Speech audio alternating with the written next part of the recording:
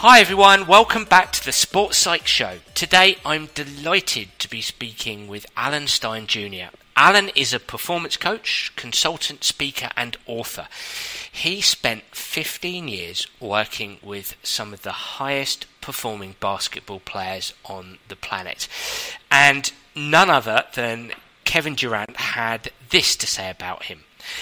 Kevin said, Alan played a huge role in my development on and off the court, and his guidance helped me get to where I am today. High praise indeed. Alan now spreads his messages far and wide across sports and into the corporate world. This guy's got some great stories about some great players. And he's also got a new book out. It's called Raise Your Game, and we're going to be talking about the book in this episode. We actually met after being invited to speak together on a different podcast, and it's fair to say that we got on famously. So I'm really looking forward to this. Without further ado, Alan, welcome to the Sports Psych Show. Thanks so much for coming on. Oh, thank you so much, Daniel. Yeah, I was uh, equally excited, um, you know, to, to have this opportunity. I had an absolute blast with you on that other show. I, I knew that we'd hit it off, and uh, looking forward to a fun conversation. Yeah, well, it really, worked well, I thought, and uh, we we shared a lot of the same views about uh, performance coaching and and sports psychology and the mental side of of of sport. And um, what I'm fascinated uh, about, Alan, is uh, I'd actually like to start by going back in time. Um, how did all of this start for you, mate? When did it start? Where did it start? Where did your obsession with high performance start? How did it start? What was that catalyst? Well, if we go back to the very beginning, basketball was my first identifiable passion. Uh, I fell in love with the game at probably five or six years old and was very thankful that I played a variety of different sports and did a ton of different activities. You know, everything from skateboarding and BMX biking uh, to martial arts to your more conventional uh, sports of, of soccer and, and football and basketball. Uh, but basketball is always what I came back to. So that was definitely my first love.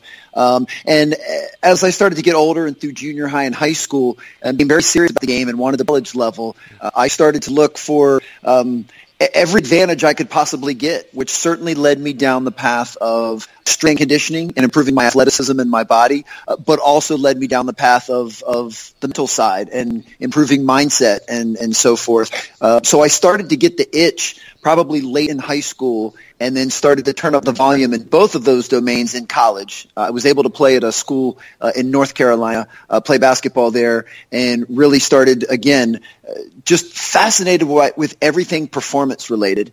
And I will say that in the beginning of my career, I leaned way heavily on the the athleticism side, on the body side. You know, I spent most of my time trying to figure out how to make the human body stronger and more efficient and more powerful. Um, but then as I got older and more mature and had more experience and started to see what real high performers did, uh, it became crystal clear to me that the mind was the only key that could unlock all of that performance. That it didn't matter, you know, how much skill you had or how athletic you were. Uh, if you didn't have the right mindset or you didn't have the mental skills, then there was still a, a very low ceiling on how good you could be. Um, so then I, I started to pivot into study that stuff. You know, what, what you're such an expert in, um, I, I started to, to, to read and watch and listen to as much in your area mm. as I could. And I found the return on that investment was tenfold. So, um, you know, it's been a pretty long journey for me now. I'm 43 years old, uh, so I've been around the game of basketball and around sport and around performance for almost my entire life. And so, what happened after college? Did, did you go into employment? Did you go into coaching? What happened after college? I went. I became a, a, performance coach. So I became a basketball performance coach. Of course, at that time, it was more referenced as a strength and conditioning coach. Um, but uh, I, I, basically started my own business and was training youth and high school athletes here in the Washington D.C. area. Um, so I was part entrepreneur and part business owner, um, but but definitely a performance coach. And again, at that stage, you know, everything was about exercises and sets and reps and periodization and, and how can I design the perfect program. And, and while that stuff is still important, you know, I just didn't pay enough attention to how important the mind was. And, and that only came again with some age and experience. Uh, but it ended up making my physical training so much more effective when I felt that I could address the mental side as well. When you reflect back on your own sporting life, your your your basketball playing in college, if you were to get, get, get sort of climb into a time machine and, and take yourself back, a magic time machine, and take yourself back, what would you do differently? Um, you said you were very preoccupied with the physical side, and perhaps you wished you had done more on the mental side. When you look back, what what would you have done differently, and how much impact do you think that would have made? Well, that is the biggest difference. You just hit it. I would have I would have been open to and embraced the mental side uh, much earlier. Mm-hmm. Now, now, in fairness, it's kind of you know we don't know what we don't know. So when I was in high school, I had no idea that there was this treasure chest of of things that I I could have accessed to improve my performance. I didn't know that. Um, you know, I remember uh, one of the first books I ever read was uh, on the subject was a book called Mind Gym. Um, yep. and and and really, that was the first time that it dawned on me that this was a kind of an, an, entire niche, an entire angle to improve performance that had nothing to do with the physicality. And that was really kind of the spark. So if I would have been able to read that book earlier in my career, or if I would have been able to meet someone like you or be coached by someone like you, um, I, I, do think it could have had a profound impact. I mean, um, I, am you know, I'm of decent stature. I'm 6'1", 180 pounds. I would say, you know, an average athlete, certainly not elite by any means, but but but fairly decent. Um, but I think I could have, you know, I could have maximized myself so much better had I been aware of of the the mental tools that that that you have and that you share. Could it have led to the pro ranks? I don't think I would have been able to be a pro player, but I think I would have been a much higher level college player and definitely would have had a better high school career um, but way more important than that, I mean, because again, I don't believe that I have the, the genetic potential to play uh, professionally, which which is okay. But what that would have done, if I would have if I would have learned the stuff that you share as a player, yep. I think it would have made me a much more of effective coach earlier in my coaching career. Um, you know, the, the, the things that I feel like I have a decent understanding of and appreciation now at 43 if I would have had a better appreciation and understanding of that stuff at 23, I think I would have been a much more effective coach earlier. Um, but again, these things are all in the rearview mirror, and and I can't wave that magic wand and change them. So I'm just thankful now that I'm aware of guys like you and your teachings, and I'm able to adopt that not only to the folks I work with, but on my own personal life. Uh, you know, because I, have been asked that a few times by uh, soccer coaches over in England when they when they sort of because my background was I was a professional golfer, and they, will always say to me when I talk to them about the, the mental side of the game, they ask me what difference it would have made to my career, and I said, look, I probably wouldn't have got into the world's top hundred. I certainly wouldn't have been Tiger Woods, but you know what? I would have, as a professional, I would have won more money and yeah. I would have had a lot more fun on the golf course. Yes, that's for sure. exactly. You know, and I'm sure you, would say the same. You would have had a lot more fun on the basketball court. Without question. I mean, it would alleviate a lot of the stress. I mean, yeah. you know, I find, and I know you and I touched on that in our previous conversation, that most, at least in my own experience, most anxiety and stress comes from either the past or the future. It's very rarely stressful in the present moment. I mean, assuming I'm not, you know, standing in the middle of a fire or something, but it's looking back on the past and wishing I could change something or be anxious and worried about the future which isn't even guaranteed. That's where most stress and anxiety comes from. So just living and being at peace in the present moment, um, you know, whether I'm doing this interview or I'm in the middle of a basketball game, there's a nice serenity and inner peace about the present moment. And, and for me, you know, that, that, that would have absolutely made everything a lot more fun, uh, a lot more enjoyable, but I do think would have raised performance significantly. Well, we're certainly going to talk more about staying in the present moment, but um, what I know is that when you left college and you became a performance coach and you got into the mental side and you were working with a lot of athletes, a lot of basketball players, that you were um, working with and um, getting to know a lot of very good players. And uh, I know that you spent some time with Kevin Durant. In fact, you may have worked with him. I'm, I'm not 100% sure, so you can you can enlighten us on that one and um, when I did a podcast with you, and you'll have to excuse me here, I do apologise, but you you you um, recounted a fantastic story about the commitment, and I can't remember if it was Kobe Bryant or LeBron James. So please, it was Kobe. It was Kobe. It was Kobe. I yes. thought it was. So um, tell me tell me about great basketball players because you know what. Uh, uh, uh, lots of people in in the US uh, listen to this, but lots of people in the UK, and we all love basketball, and but I don't know enough about it. So tell me about what some of the best players do over there to be the best that they can be.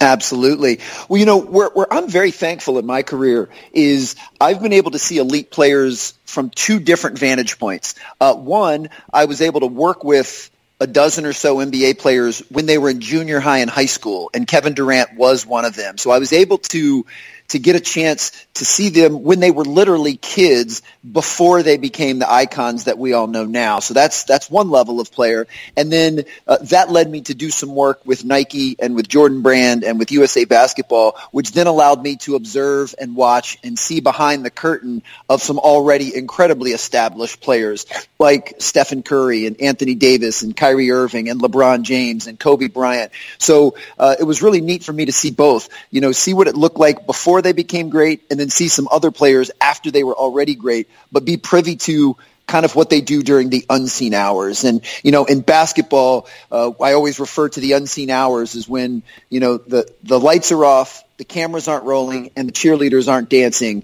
It's what you do then that will determine how well you play, you know, when the lights are on and the referee blows the whistle. So, you know, in both cases, uh, I saw tons of, of similarities.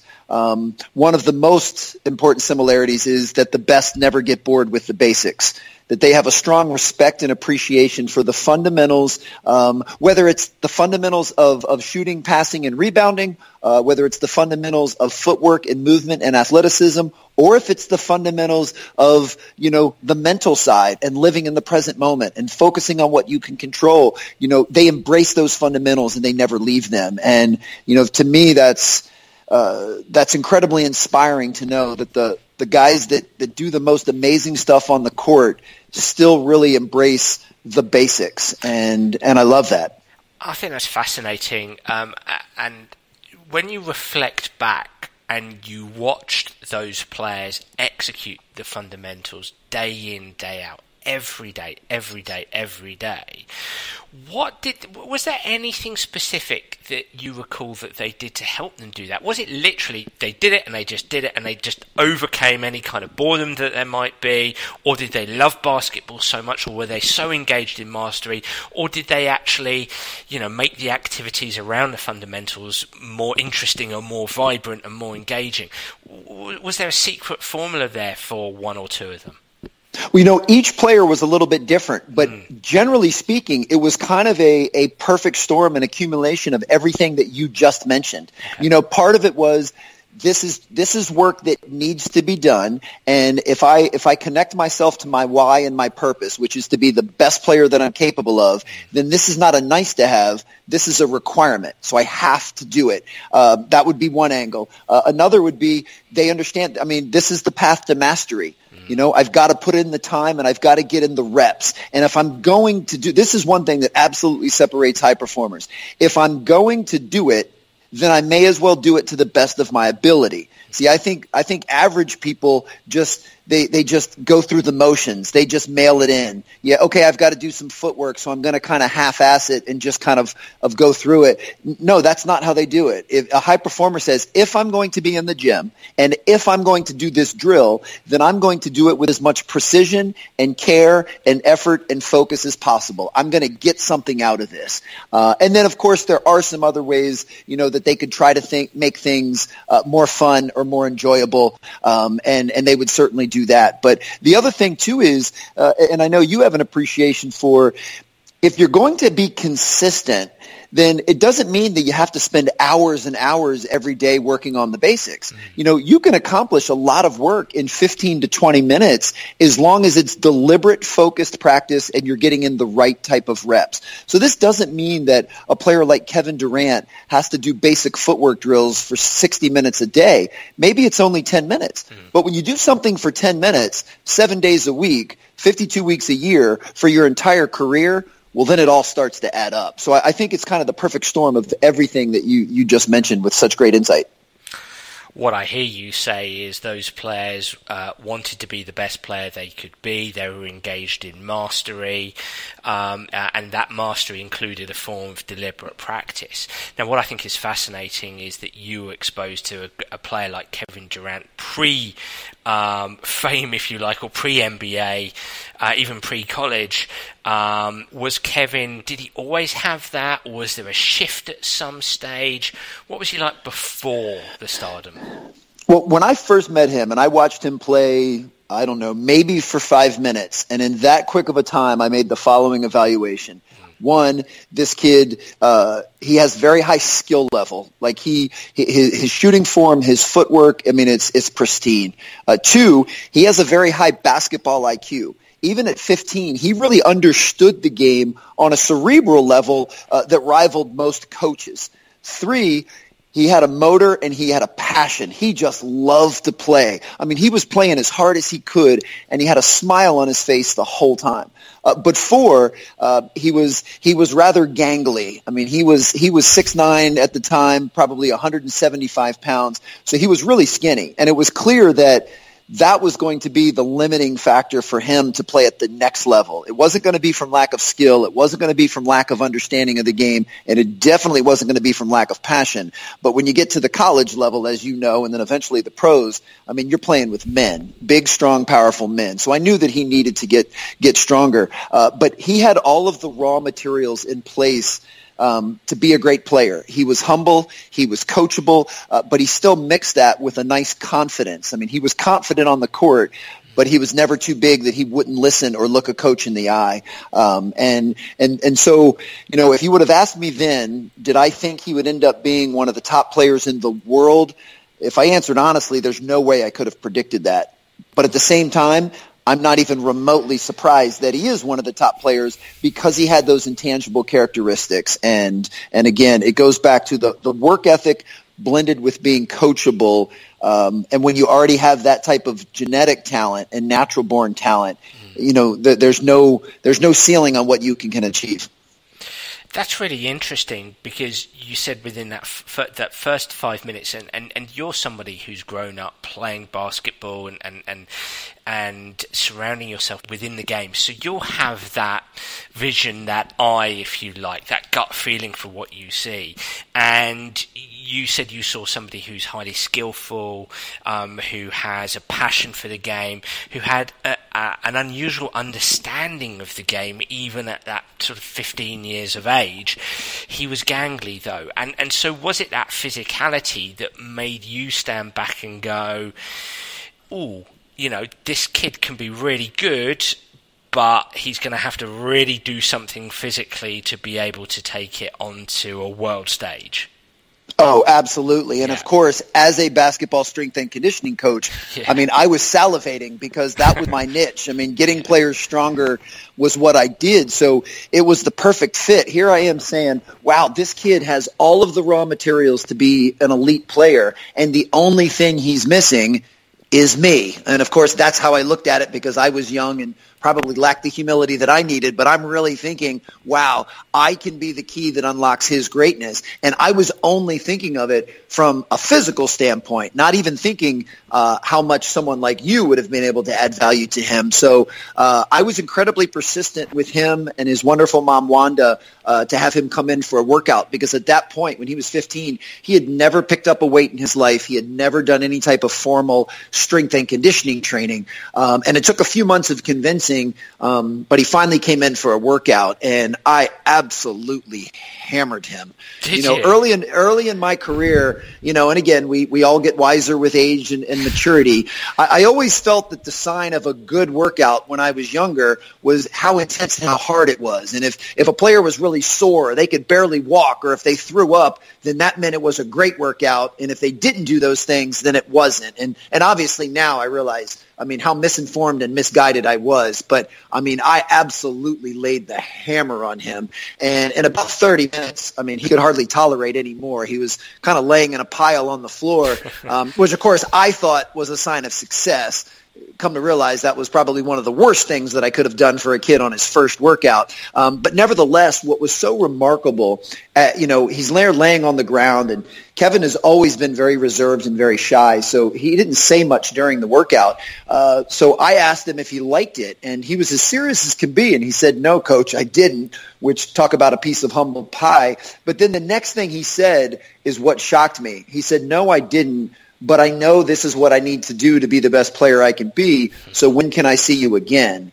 And, and, and I remember the light bulb going off in a couple of ways. One, well, this kid didn't like my workout, so I better change some things up. But two, I mean, he just went through something that was mentally, emotionally, and physically really, really, really challenging. And yet he's willing to do it again because he knows that's a sacrifice he has to make to be a great player.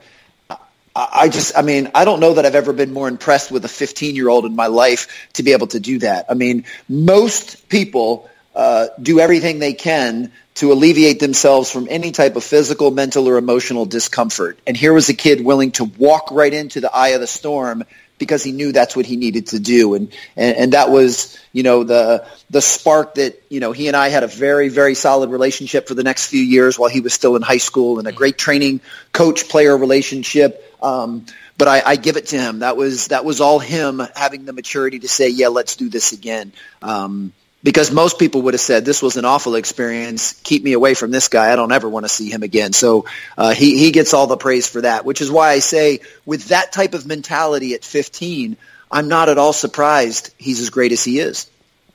When you reflect back, bit of a personal question here. When you reflect back and you had these to be great basketball players coming in, and I understand they were high school kids at the time, but you know, take a Kevin Durant who you said was this wonderful, um, if a little bit gangly, certainly for, uh, uh, an, an incredible talent. Were you nervous? Were you personally nervous about doing the wrong thing, saying the wrong thing, or was that absolutely? oh, without question, yeah. yeah. And that you know, um, but of course, as a young coach, I mean, I was riddled with my own insecurities. You know, I'm I'm I'm thinking, am I good enough to train a young Kevin Durant? You know, do I belong here? Um, what if he realizes that I don't know everything there is to know about strength and conditioning? You know, what if what if I do something and he doesn't like it and he never wants to see me again? Is it is it my job to stick to my convictions and do what I know, or is it my job to cater to him to make sure he keeps me as a coach? Of course, those were all things going through my head, and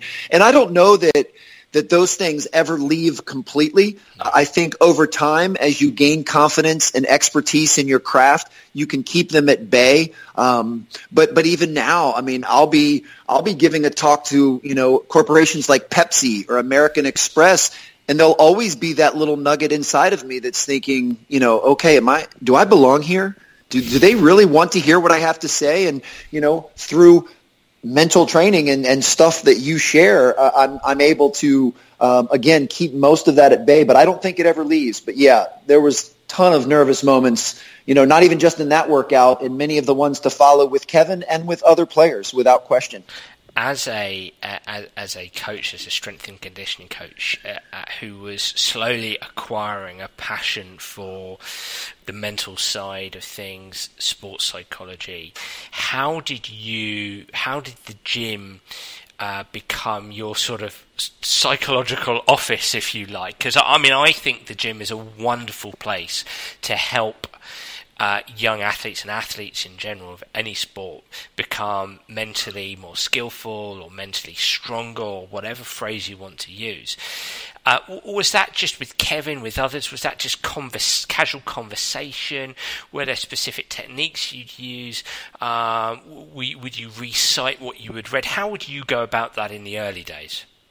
Well, I'm very fortunate. Even as a young kid, I've I've always considered myself a people person. Like. I enjoy connecting with other human beings, and I've always found tremendous value in connecting with others. Um, so, so holding side conversations and asking them about things outside of sport and about their lives and all that, that's just always come natural to me because, because I enjoy that part. Uh, but I'm very thankful that early in my coaching career, a coaching mentor of mine um, shared something incredibly impactful that, that reshaped how I viewed coaching for the rest of my life. And he said, you have to connect first and you coach second that the most important thing is building trust and building a connection and a solid relationship uh, where your athletes know that you truly care about them first. And once you've established that, then you can talk about footwork. Then you can talk about increasing power. Then you can talk about, you know, nutrition. But you have to connect first. So, you know, as I look back on my career, um, you know, if if if you were to rate me in the two areas of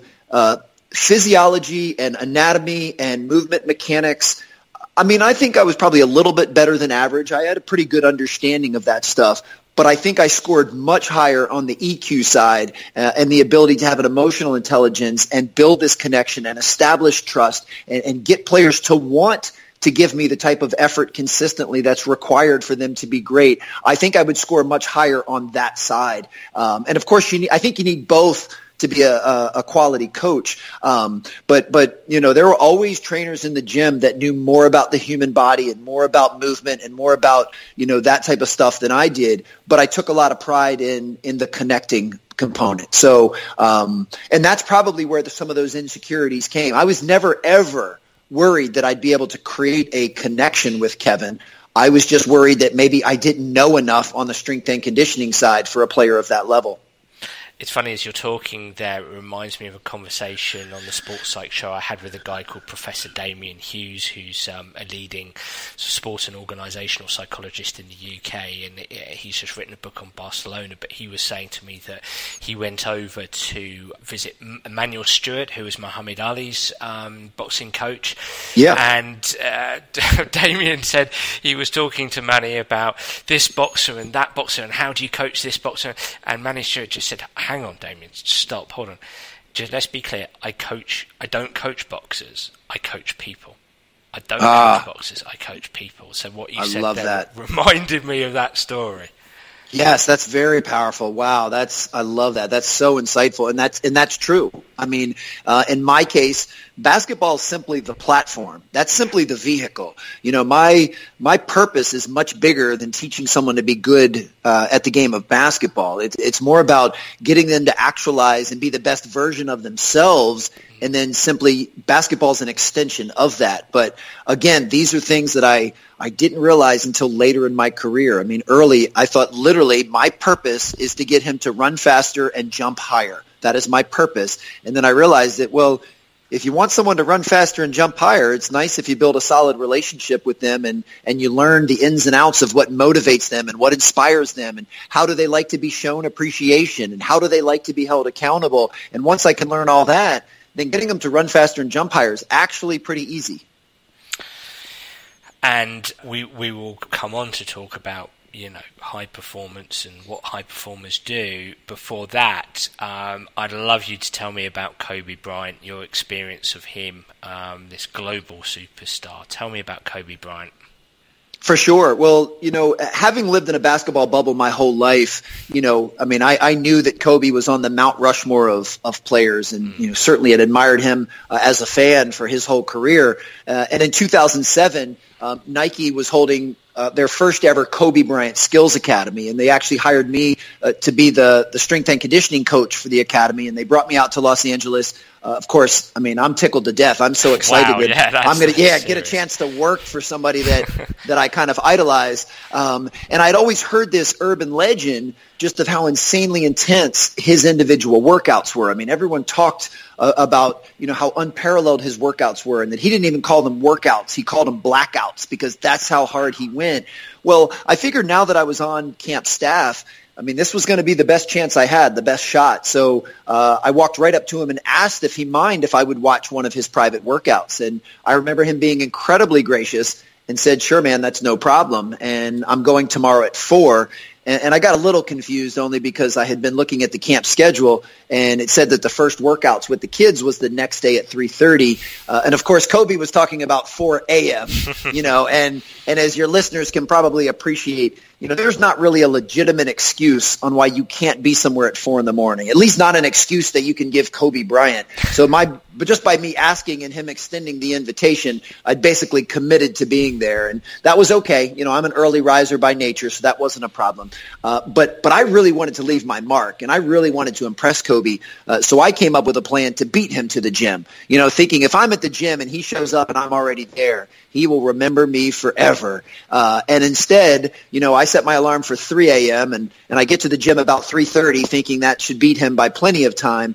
And I get there and he's already in the gym working out at 3:30. And he was already in a full sweat. He was with his trainer and he was going through an intense warm up to prepare himself for the workout that technically started at four. Uh, and, and that alone kind of blew my mind. Um, but piggybacking onto how we started the conversation, I remember being shocked when I watched his workout because uh, the first 45 minutes he was doing some of the most basic drills that, that I knew of. I mean, he was doing basic offensive moves and basic pivoting and footwork drills.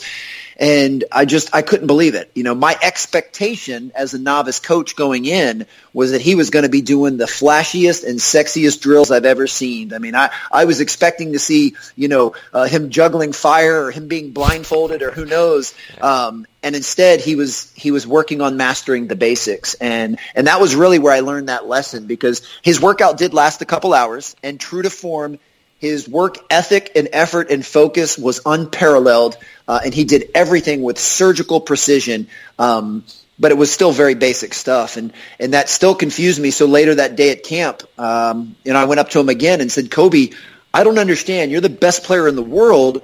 Why do you do such basic stuff?" And and that was when he gave me that line that I never get bored with the basics. Like the reason I'm the best player in the world is because I'm committed to mastering my craft. And the only way I can do that is to, to have an appreciation and respect for the basics. And, and that changed me forever because, you know, at that time in my life, I was always chasing the shiny objects. I was always trying to find the shortcut to the advanced stuff. And I don't need the basics. Give me the good stuff. Mm. And to find out that a player like Kobe lives in the basics you know, certainly changed my perception because I'm thinking if the best player in the world can can work on mastering the basics, then me as a coach, I better do the same thing. And and you know, so that was a really monumental time. And and what's funny is he probably doesn't even remember that. Like that's just another day to him getting up that early and mastering the basics. But that day absolutely changed my life forever. Wow. Wow. So you've given us some golden nuggets already, but what do high performers do? You know, you, you're you're you're illustrating some of the experiences you've had with some of the best athletes on the planet, and you've talked about you've you, have you have spoken about the fundamentals, the basics. I know that when you speak to audience, you talk about heightening self-awareness and improving productivity and creating winning habits, inspiring teamwork, uh, maximizing impact. But what's another after that, that that fundamental piece? What's another thing that you found that high performers do?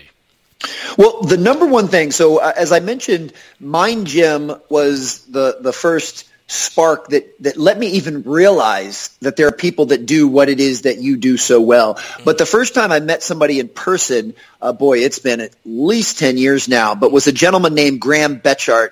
Um, and he does similar mental skills training to what you do. And he lives in San Francisco. Um, and he was the one that taught me the concept to play present uh, or now to live present, which is to really be focused on the present moment. And, and that alone was what shifted my definition of what it means to be mentally tough. See, with, without knowing the stuff that you currently know, I always thought mental toughness was kind of a derivative of physical toughness. Like if you could if you could run sprints until you threw up, you were mentally tough. If you could do a wall sit for 10 minutes with a sandbag on your head while coaches are screaming and dropping the F-bomb at you, you were mentally tough if you didn't cry. Like I, I didn't have an understanding of what mentally tough meant and and Graham kind of led me down the path to believing that mental toughness um, for the most part is being able to to be in the present moment mm. and eliminate unnecessary distractions. And I know that's not an all-encompassing definition of mental toughness, but I do think it's a pillar of it. And and to me, that's what that's what shapes high performers is you know and and what i've come to conclude and this is where i would love your feedback and expertise um, that living in the present moment uh, has three pillars the first is you only focus on the next play because it's the only one you can do anything about. So forget the one that just happened. Focus on the next one. Uh, two, focus on what you have control over, which is your attitude and your effort. And then three, just focus on the process. Don't focus on the wall. Focus on laying one perfect brick at a time. And if you can do those three things, then in essence, you're you're in the present moment. And for me, uh, that's been a theme that I've noticed from every high performer, uh, whether it's basketball players, whether it's coaches, but even those in the business world, and even myself, even as a father of three young kids, I become a better father the moment I'm, you know, the moment I'm present and the moment I realize, uh, you know, that I'm living to those three pillars. So for me, I think one thing that unites all high performers is the ability to be focused on the present moment. And I think what's interesting there is you talk about being a parent and you talk about the business world. I actually think what's interesting is that I agree with you. It is being in the present moment, and I love your three pillars, if you like: the focus on the next play, the control the controllables, focus on what you can control, uh, be into the process or execute the process. And I think that when you're when you're a parent, that that's so much of your day, isn't it? And when you're in the business world, you have to do that so often. In the sports world, you could argue you've got to do those things in training, absolutely. Of course, you've got to practice them. But those acute performance moments come, come around once a week on match day or on game day. But as a parent and as a businessman or businesswoman, you're going to get so many of those performance moments during the day that you've got to perfect or you've got to execute to the very best of your ability. So I think those three pillars are just as relevant to the population as a whole, not just to sports people. For sure. And that's one of the reasons I enjoy my work is because I do believe it bleeds over into every area of our life. Mm. Like you and I may be focused on sport, mm. but all of the stuff that it takes to be a high performer in sport can translate to any other area. And, and I also believe that, that we perform in every area of our life. Like I want my performance as a father to continually improve. I want my performance as a speaker to improve. My performance as a business owner to perform to improve. And even if I'm going to go pl- to the park and play basketball with my buddies, I want that performance to be as high as it can be. And, and I know without question that the folks that have mentored me to be a better coach uh, have also mentored me to be a better father, and they don't even realize it because that's not what we were focused on. But these things absolutely cross over uh, and transcend every area of our life. It's interesting because you're talking there, and I'm thinking about your pillars and this notion of staying in the present. Being present minded, staying in the present is the, the tough task is being present minded it's not just yes. staying in the present, it's being present minded. And to be present minded, you've got to be very intentional with what you do a lot of the time. I think as human beings, we tend to rely too much on automaticity. We kind of, and I understand in the sporting world, um, executing your skills automatically is this divine elixir of just do it, don't think about it. But there has to be a part of sporting skill where you do have to uh, think about what you're doing. You do have to check in with yourself on the course, yes. the course or the pitch. But in your everyday life as well, it's parenting with intention. It's living with intention. It's it's working uh, with intention. I think staying in the present. What you're saying to me has got me thinking about yes, staying in the present, but being present minded. It's being intentionally minded.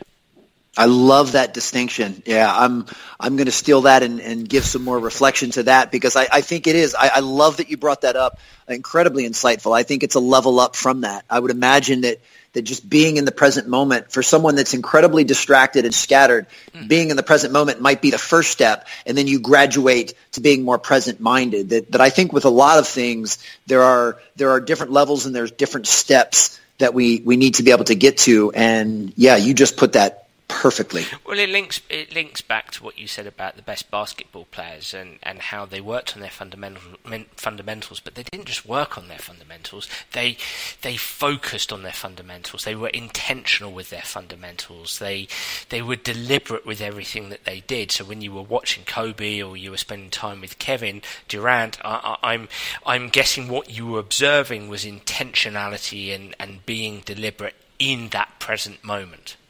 Yes, and and it's still no, you're absolutely right with that, and it's still their commitment to excellence in everything that they do, and I think that also stems to their their relentless obsession to be better um, and their competitiveness. But if you think of how most of the world does things, like like right now, so I have eight year old twin sons and I have a six year old daughter, so they're on the younger end. But if if one of my sons came in right now and I said, "All right, I need you to go clean your room," he would more than likely do the least amount possible that he thinks that he thinks I'm going to be okay with. So he, he's going to kind of put his toys away and, and make sure his clothes are stuffed in his drawer, uh, just enough that when I walk in the room that I'll say, okay, this looks good. Uh, but see, a high performer would go in and they would make the bed with military corners. They would refold their clothes and make sure they're stacked perfectly in the drawer. Uh, they would check to see if there was dust on their dresser, and then they would vacuum.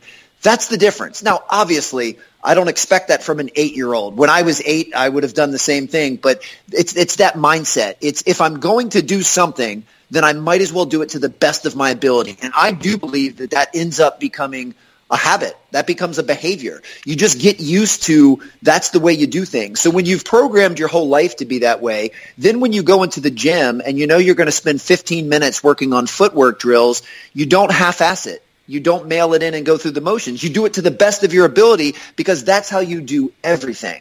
And that doesn't mean that you're good at everything, but I've noticed that the best players, they also gave a great effort in the classroom. Now, they might not have gotten the best grades. They might not have been the smartest kids I've ever met, but they gave a great effort because they know that, that those types of things should not be an on, they're not, there should not be an on and off switch. That you do the best that you're capable of in everything that you do. And when you do that enough times, that's just kind of the way you're wired. And, you know, of course there's exceptions to that. I'm not implying that everyone can be at 100 every day, no. but that's the mindset. And to me as a parent, since I've already told you that going back, I wish I would have had a better understanding of the mental stuff as a kid, that's one of the most important things that I try to share with my children. And I talk about being present with them all of the time. And I talk about, you know, when I do go in and check their room and say, hey, Look at that. You know that you should have put it away differently, didn't you? Yes, you know that. Well, why didn't you? Because now I'm going to make you do it anyway. So you could have done it right the first time. And and to me as a parent, that, that's one of the best gifts that I can give my children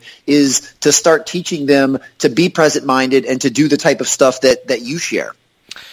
And as you say there, it's challenging as a human being to be on 100, 100% all the time, but you're going to be 100% on the things that are most meaningful to you. Yes. So, as you're alluding to there, for you as a parent, if we go back to Kobe Bryant there at four, five o'clock in the morning, well, he's he's being deliberate and intentional because that that basketball game of his is the most meaningful thing in his life at that time.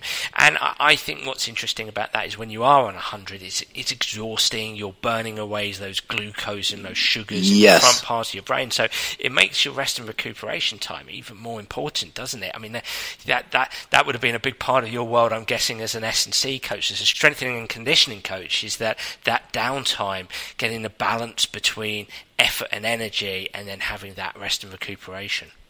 Oh, absolutely. And, and, you're right. It's to me, it's not that you need to be at 100 in everything that you do. It's just more of the awareness and the mindset and yeah. the connection that uh, how how well I clean my room is a choice. Yeah. And I either choose to do it to the best of my ability or I choose not to. And, and I think it's important for all of us to hold ourselves to a level of accountability that when we choose not to or we choose not to give our best effort in something that, that we own it and we admit it. And sometimes because we do, our resources are finite. So mm-hmm. yes, it doesn't make sense to spread ourselves thin and try to be a hundred in every different area. You know, that's why I, I really embrace finding the things that we're really good at and doubling down on those and then disregarding a lot of the other things. You know, um, in, in, the NBA, for example, uh, you've got I don't know, maybe 12 to 15 players that are like LeBron that can kind of do a little bit of everything. I mean, they're they're the freaks. They can they can pass, they can rebound, they can score, they can defend. But outside of the top 12 to 15, the other 450 players in the league are role players. They are specialists. They have one skill, sometimes two, that they do at an elite world-class level. Um, a perfect example would be players that are that are great shooters. You know, a Klay Thompson or a Kyle Korver or a JJ Redick. Those guys get paid a lot of money to do one thing: catch and shoot catch and shoot, catch and shoot. So they don't try to give a hundred in all of the different areas. Uh, they try to make sure that they have razor sharp precision in that one area so that they can be world class. And, and, and that's something to think about. And, and then as you just perfectly teed up, yes, the rest and recovery component, uh, whether it's mental and emotional rest or physical rest, is vital to performance. And that's another area um, that as I look back on my young coaching career, I didn't give it the respect that it deserved. I came from the school of more is better, and the more effort we can put forth for longer periods of time, for more days of the week, is better. And that that old misguided adage that if you're not working out, the other guy is, and when you meet him, he's going to beat you. And now I look at it differently. I think, well, if that guy's working 24-7 and I'm strategic with my rest and recovery, I'm going to beat him whenever we line up because he's going to be exhausted. So uh, the rest and recovery component, yeah, is incredibly, incredibly important. And that's one of the things that I find, you know, a lot of coaches, players, but even folks in the business world, they struggle with because they've been taught that the constant grind and the 24 hours of work is what's best. You know, most of what I talk about with athletes now to improve their performance, how can you improve your quality of sleep? How can you find some times to, you know, make sure that you're hydrated and you have good no- nutrition? That in fact today would be a great day to take off completely so that tomorrow you feel like 100 instead of going in and gutting it out today and feeling like a 75 today and then you're going to feel like a 55 tomorrow. So again, with age, hopefully some maturity and some newfound wisdom, uh, that stuff becomes so much more important. Last thing to say on this subject, or last question to ask, is is related to what you've just said there. When you reflect back over the last 20 years of, of being around some of the best basketball players in the world, would you say that quality of practice and quality of approach, if you like, uh, trumps quantity? Trumps the quality work trumps the hard work. Yes, without question. You know, on some level, once you have a decent level of mastery with a skill. So first you have to learn the skill, and then you need to be able to replicate it at game speed uh, for there to be the highest level of, of transfer. Um, so uh, a perfect example would be I have kids all the time. They'll shoot me a message on Instagram and say, you know, hey coach, I was in the gym shooting for three hours this morning. And I'm thinking, okay, well, I know that that wasn't very quality work because there's no way that you can go at game speed for three hours. You, what you're doing is you're casually shooting you know you're in there just kind of going at your own pace and and uh, there's there's there's a time and a place for all different aspects of training. But if you're really looking to raise your game and to be able to to transfer what you're doing in workouts and practice to a game then you need to replicate that with the same level of focus and intensity. So when i have a player say you know i just went in for 45 minutes and I, I shot as many game shots from game spots at game speed as I could. And, you know, then I know that that person gets it and gets what you just said, that the quality is way more important than the quantity. Uh, over time, the quantity will accumulate, and, and you'll get those reps, and you'll lay those bricks because repetition is important. Uh, but but yeah, the the the quantity is or quality rather is so much more important, and it comes down to your standard of excellence. You know, um, uh, Stephen Curry, who most people have heard of today, yeah, of course, yeah. was actually one of he was one of the college counselors at that Kobe Bryant Skills Academy. So this was before anyone knew who he was. And uh, long story very short, at the very end of the first workout, he asked me if I would rebound for him because he wasn't going to leave the gym until he swished five free throws in a row. And for someone that, if, if anyone listening has not shot a basketball before, that's a really, really, really high standard. I mean, a swish is a perfect shot. It doesn't touch the rim. It doesn't touch the backboard. And, and he wasn't going to leave until he swished four in a row. Well, you said you were a golfer. Let's just say that you weren't going to leave, you know, the putting green until you made 10, 10 foot putts in a row or something to that nature. I'd still be there, uh, Alan. I'd still be yes, there. Ten years of, later, I can show of, you my putting. Of course, and, and, and, that's and that's the level you know that Stephen held himself to, and, yeah. and I believe when he retires at that time, he'll be the greatest shooter in NBA history, and it's because he was willing to hold himself to a high standard, and he was focused so much more on quality and not quantity. And it's also important to note that you know standards are something that we accept. It's not what we talk about. It's not what we put about on Instagram. It's what we accept. And he would not accept leaving the gym until he swished five in a row. And and I'm not saying that that any athlete listening to this right now needs to make 10 10 foot putts or swish five in a row, but you need to find a standard of excellence that's appropriate for you and hold yourself to that and don't allow anything to pull you beneath it. And then of course you can level up as you start to master it. Uh, I never had the conversation with him, but I feel very confident in saying that Steph probably started when he was younger with something like, I'm going to make two free throws in a row before I leave. And then over time, when that become, you know, he's mastered that, and then I'm not going to leave until I make five in a row, and then I'm not going to leave until I swish two in a row. And he probably continued to level up as he got better. Uh, but it but it all comes down to our standards. And if you have incredibly high standards and you have high focus and you give a great effort, then you really don't need a, a ton of quantity when it comes to your workouts. It's the quality that matters. Absolutely. And um, talking about quality, um, exciting times for you. You have a book out called Raise Your Game. Tell us about that book. How did that?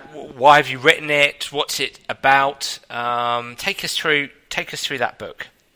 Well, it, the the book for one, it was a professional bucket list item. You know, I know how much books have impacted me in my life. I've been a voracious reader ever since college, and uh, there's nothing better than just getting a good book and, and, and having my eyes light up when I read something new, um, you know, that, that's going to have an impact on me, like we've mentioned a couple times now with Mind Gym. So, you know, for me, the thought that, that over time I might have enough to say that someone else would want to read and get a similar feeling was, really something that was important to me. And, and I've always felt kind of this, this duty, if you will, that I've been around some really great players and some great coaches who have taught me stuff.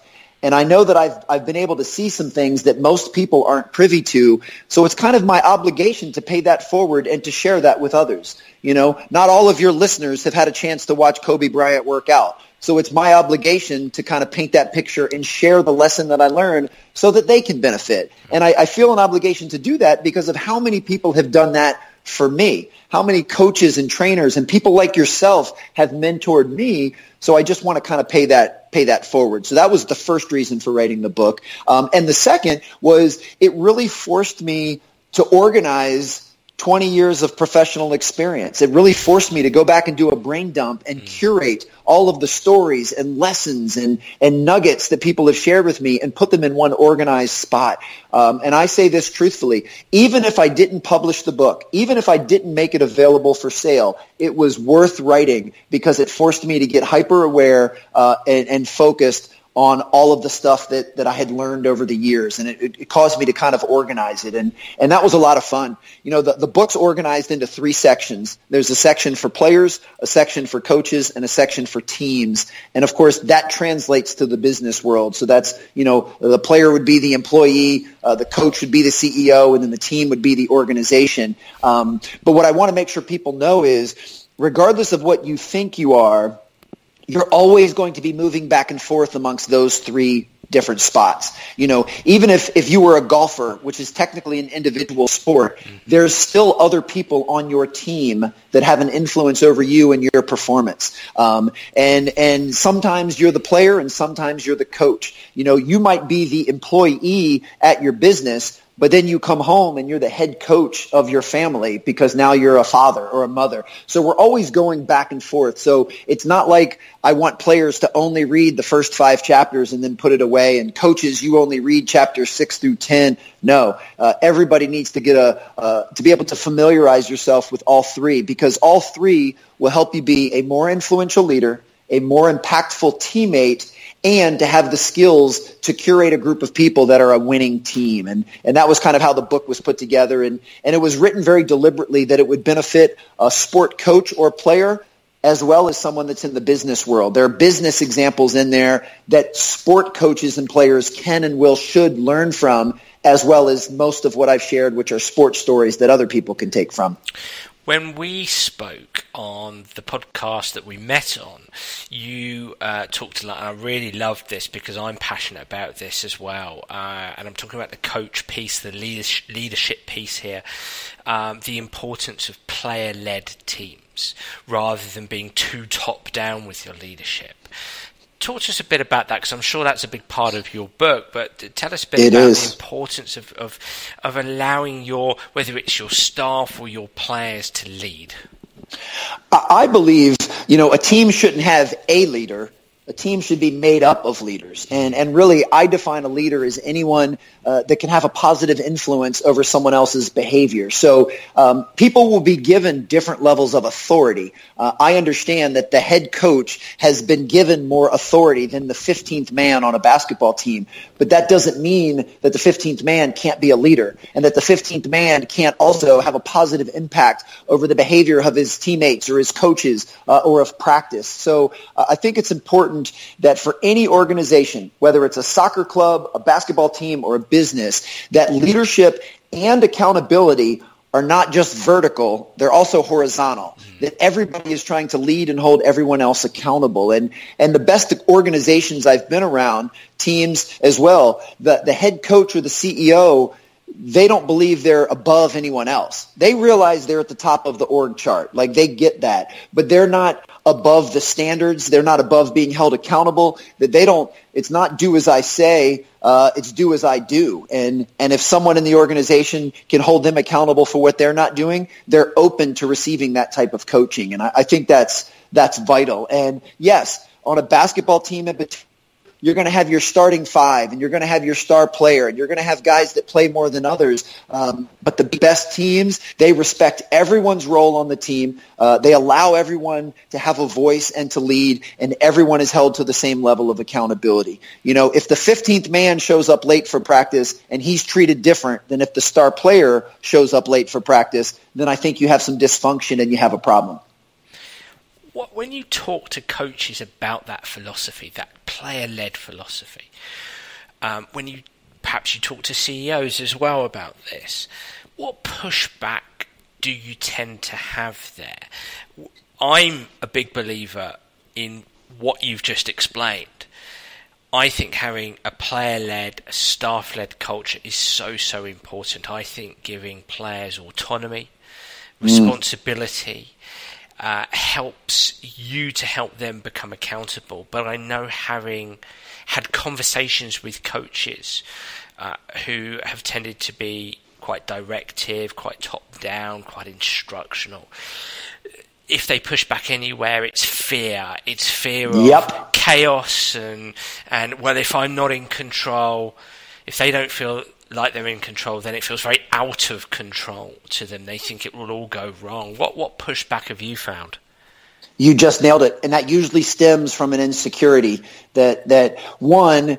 Uh, on one level, we all want to feel like we matter. I mean, of course, you know, on some selfish primitive level, we all kind of want to feel uh, that if I leave, this whole thing will crumble because I'm that important. And you know, that's that's really deep rooted, and I think a little bit of that is probably understandable for all of us. Uh, but over time, uh, the best leaders had the humility to acknowledge that if I leave and this thing keeps running brilliantly, that's actually a compliment to me. That's not a derogation to me. That is a compliment that helped establish the culture that can run without if you've created an organization or a team where accountability and leadership uh, is not just vertical, it's also horizontal, mm-hmm. where everybody has a say and everybody has a voice and, and everybody is leading everyone else, um, then you've created something really special and unique, uh, almost to the tune that if you didn't show up, this whole thing would run perfectly without you, um, is, I think, the best –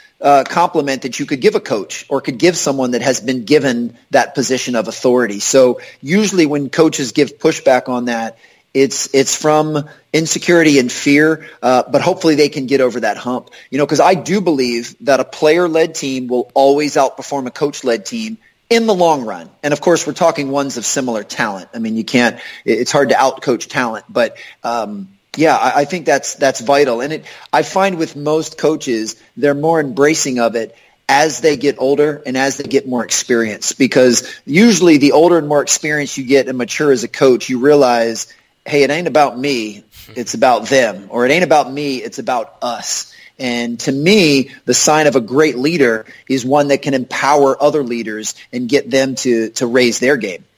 Yeah, I think it's twofold, isn't it, Alan? It, it if I'm constantly instructing and I'm co- constantly telling uh, players, athletes what to do, then they're not being given the opportunity to brainstorm, to problem solve, to find solutions on their own. And so exactly. when they do come up against challenges on the course or the course or the pitch, they won't necessarily have the capacity, the mental flexibility to be able to find those solutions. Um, I think the other thing and related to that is, look, as a coach, you know you're not out there yourself. You're not on the course, right. or, the course or the pitch. And so, you know, w- w- you want players who are, imp- you know, who are good enough and empowered well enough to be able to problem solve. So passing over that power, it's that power piece, isn't it? Passing over that power to players, you know, shouldn't be scary. It might feel scary at times, but it, yeah. it, it shouldn't be because you're empowering them to make key decisions in those acute performance moments. Exactly. And what you just said so perfectly, decision making is a skill mm. and decision making takes practice and we have to get our reps. So if you're making every single decision for your players, then they're not getting any practice to do that. And as you just said, then once the light comes on and the referee blows the whistle, they have to be the one that makes the decisions because you can't be on the court with them uh, and you've robbed them of that ability. And it's, it's funny because if I had to summarize my parenting philosophy, you just did it right there. Even at young ages, I try to give my children as much autonomy as possible to make their own decisions and practice making their own decisions and living with the consequences of those decisions because that's what I want them to do. I don't want to in, you know, uh, insulate them in this bubble until they leave home at 18 and they've never practiced making any decision on their own because as we all know, you know, we, we make bad decisions. You know, we make them in life, we make them on the court, we make them in business. So the more you can practice with bad decisions, then the better you'll get at making good decisions. And that's ultimately what experience is. So any chance I get uh, to give my children autonomy um, and to give the players I work with autonomy, uh, I, I try and take that. And uh, again, that that requires some confidence as a coach that you have the right people on your team and that they're going to make the right decisions over time. And then when they do make a poor decision, uh, even if they, they misread uh, a play or whatever, uh, then there's a chance for a learning opportunity. And that's when you can, you can stop and you can actually coach and not just do a series of drills. And you can say, what were you thinking on that play right there? When you made that pass, why did you feel that was the right pass to make? Because clearly it wasn't, but I want to see how you process that so maybe I can give you something that will allow you to make the right pass next time instead of just telling them what to do. Fantastic. Now, last question, because I'm mindful of your time, and you, you used the important word, the vital word, team, several times in uh, the last couple of minutes. And I know that a big passion of yours is to help players, team, help organisation, team. Teamship is a big thing.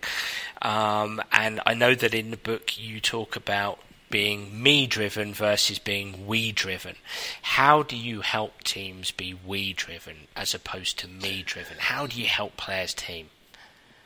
Well, you know, one thing that, that over time I've come to realize, and it's not that being me driven is bad. Hmm. It just can't override or undermine the we driven portion. In fact, I think having a certain level of me drive if it's done in the right context and for the right reasons, actually helps the we drive. That, that that that's okay for players to have some internal selfish tendencies as long as they don't undermine the, the vision or the goal of what the team is trying to do. You know, so for example, uh, if a basketball player says to himself, you know, uh, I want to be a McDonald's All-American. That's that's one of the highest levels of accolade you can get as a high school basketball player in the United States. I want to be a McDonald's All-American. Well, that can be valuable if you do so within what we're trying to achieve as a team. If you realize that setting up your teammates and being a leader and self and unselfish and playing great defense and helping us win more games, that will raise your chance of being a McDonald's All-American, then those two things can coexist. But if you say that, you know, I'm going to shoot the ball every time down the court because I need to average 30 a game or I'll never have a chance of being a McDonald's All-American, that's when it becomes destructive. So, you know, for within the confines of the team, if you get the right me's, then you can develop the right we. And, you know, as far as a team, some people just tend to think, well, if we're all wearing the same color jersey, we're a team. And that's not necessarily what a team is. You know, a team is a group of people that truly cares about one another, that is willing to sacrifice some of their own needs and own agenda and, and own drives for the betterment of the group and to be focused on what's best for the collective, not just what's best for themselves. And when you can get a group of people that are willing to make those sacrifices and that type of commitment, uh, then you have something really special. And, and that also plays into the role. You know, a, a we-driven team, each individual says to themselves, what does the team need from me? Mm-hmm. And how can, how can I best add value to the team not simply what's best for me. And, you know, of course, every player wants to play every minute of the game. But if it's best for the team that they don't, then they have to be willing to concede interesting. There's two things I've written down now. I'm writing down lots of notes, which is fantastic. And there's a couple of things I've written down. What I love about what you did there is, for me, I heard you frame individual excellence within team excellence. Yes. You know, to, to get on that McDonald's basketball team, you know, that that's that's a great individual goal to have. How can I accomplish that within my team? You know, I often uh, say to players, um, be the best individual you can be and the best teammate. Be the best teammate and the best Love individual that. you can be. I mean, it, it, they, there's you've kind of alluded to, they do go hand in hand. And then what I love about what you've gone on to say is you posed the question, what does the team need from me? And I and I think that individual athletes within team games like basketball, like soccer, uh, and other team sports, they can feel so much pressure going into a match uh, for themselves that they mm-hmm. become very tunnel visioned about I'm nervous, I'm anxious, right, what have I got to do? What have I got to do? What what's my role here? What's coach said about me? What's my responsibilities within my role? What actions have I got to do? So you become very me oriented because of the pressure. and I and yes. I love that notion of you you know, have that, that's fine, that's okay. You know, you've got to go through that in your mind. You've got to mentally rehearse what you've got to do. But you've also got to pose that question what does the team need from me on Saturday? What does the team need from me on Sunday when we go and compete? So, what have I got to do within this pressurized moment? How am I going to react and respond to adverse moments? And what does the team need from me? Yes, and that needs to be constantly reinforced and emphasized, and that's where we all need to hold each other accountable within the confines of a team. Um, because I do think that many selfish tendencies are natural. I think they're in our DNA. I think, you know, as, as little kids, we're taught this self-preservation of I got to look out for myself and know and give me that and somebody feed me and somebody change me just for mere survival. So it's these selfish tendencies are often very understandable, but it doesn't make them acceptable. Just because something's understandable, it doesn't mean that it's acceptable. And I think as coaches and players, we have to recognize that. So do I understand why a kid would want to go try and score 30 points because he wants to be a McDonald's All-American? Yes, I can understand that, but it doesn't mean that it's okay within the confines of our team. And if I'm a coach or a player, then I want to be able to teach that person how to use that inner drive of excellence for themselves for everybody else? How can everybody else benefit from the fact that you want to be the best that you can be? And that was always my closing statement to the team when they were going to leave for the summer was very first step to improving our team is improving yourself. So you make sure when you go home for the summer that you're focused on being the best that you can be. And then when you come back when school starts again, we'll plug you into, you know, with everybody else and we'll all get better by default.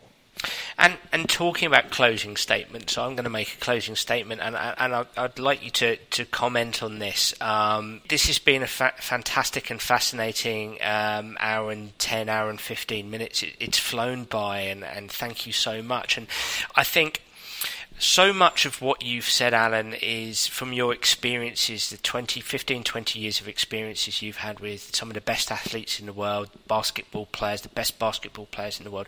You've laid down a blueprint for what high performance looks like. I know your your your book lays down a blueprint for leadership, world class leadership, world class teaming or teamship, building teams. And so much of what you've said I recognise within athletes I've worked with, and so much. I often say on the Sports Psych show, there's a difference between simple and easy. There's a difference between simple and easy, and so much of what you you said sounds so simple, but but it's they're not easy to do, and so often our personality traits, our dispositional traits. You know, being a, a psychologist, I, am passionate about personality science, and um, you know, you've talked about uh, Kevin Durant and, and Kobe Bryant and all the the effort and the sacrifices they've made and, and how they train effectively. And it sounds to me that they were quite high conscientious Okay, I, am really putting my psychologist's cap on here. Uh, I love it. Keep but, it going. But, but, they're very high conscientious, and it, and it's not everybody has that in abundance. But for me, and I wouldn't do the job I do without believing this, I believe that people can learn to be more high conscientious in the situations that they need to be. So if I yes. love soccer and I want to be a soccer player, or I want to be a golfer, or I want to be a basketball player, and I'm passionate about it and I'm good at it, and I may have the physique like Kevin Durant didn't necessarily have, and he built it with you. Maybe. Um, maybe I don't, or I don't quite have the conscientiousness that that, that a Kobe or Kevin uh, had in the past, I can learn that. I can get up in the morning, I can set my alarm, I can write some stuff down that I'm going to try to accomplish on that day. I can catch the thoughts that say, oh no, just don't bother this time. Um, everything, there's been a real strand through what you've said that I think that um, high conscientious people find easy easier to do not easy to do but easier to do. But people can learn to do it. So i'd just like you to comment on that because you will have seen a lot of people come and go. A lot of people succeed and fail. Do you believe that as well alan that not everybody um, genetically has that or has a biological predisposition to what Kobe and Kevin can do. But to me, everybody can get some shift to get closer to that kind of conscientiousness. Absolutely. And not only do I believe it, uh, I'd like to be believe that that I'm living proof of it and that I could be a case study for that because I, I firmly believe I have a much higher level uh, of conscientiousness and just of general consciousness and awareness now um, than I've had at any other point in my life. So it is absolutely uh, something that can be learned, something that can be practiced and conditioned through proper repetition and awareness uh, without question. And and really, it's the key to all of us being the best version of ourselves that's possible. I mean, even as we said earlier, in my belief, even if I became the best version of myself possible, I don't think I had the physical skills to play in the NBA. No. And that's okay. I, I'm okay with that because I know that I'll be able to maximize every other area of my life. And yet there's, you know, there's tens of thousands of people out there who did have the physical skills to play in the NBA and they never were able to actualize it because of lack of conscientiousness and the things that you just mentioned. So um, it's all about us being the best that we're capable of. And I know that sounds a little overplayed and cheesy and cliche, but as I get older, I really embrace that. And, you know, when you're younger, you're always trying to play the comparison game. Am I better than this player? Am I better than him? Am I better? And it really doesn't matter. All you have to ask is, are you the best that you're capable of being? And the closer you can get to your full potential, the better. And when you're older, you'll have peace with that. Even if you're not better than the guy next to you, as long as you're the best that you can be, you'll be able to sleep well at night. At least I know I can. Well said, sir. So, uh, I know you will have tapped your enthusiasm will have tapped a lot of interest out there. So how can Alan? How can people find your work and uh, your book, and how can they get in contact with you? If they'd like any information on the book, they can go to raiseyourgamebook.com. And if they'd like any information just on me, um, what I do from a speaking standpoint and so forth, they can just go to alansteinjr.com. Uh, and I try to be really active on social media. So I'm at Alan Stein Jr. on all of the major social platforms. Uh, love talking shop with coaches and players. So if anybody listening, um, you know, sends me a message on Instagram or something, I'll make sure to get back to you. Uh, this has been a real pleasure. I, I knew, you know, from our previous um, interview together that we were going to have a lot of fun today. And, and I appreciate the work that you're doing. And I always learn something new every time you and I interact. So, uh, yeah, you don't have to twist my arm hard for you and I to chat anytime. Well, I'm sure we'll do so again, and, and, thank you so much. I know you're a very busy man, and thank you so much for taking the time to come on the Sports Psych show. Well, everyone, that was Alan Stein Jr., and wasn't that fantastic? I really, really, really enjoyed that podcast. Some of those stories were absolutely fantastic, and I'd love to hear what you, the listener, thinks. So please do get in touch via Twitter or Facebook or through my website at danabrahams.com to tell me exactly what you think of the Sports Psych Show. And if you have any suggestions, I'd be delighted to hear them. I'm really looking forward to next week's episode. Bye for now.